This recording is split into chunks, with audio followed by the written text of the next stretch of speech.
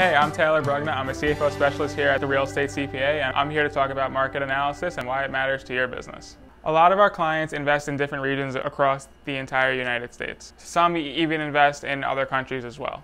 Market analysis is crucial to any real estate investor's business because it allows you to allocate your hard earned capital to markets that are performing well.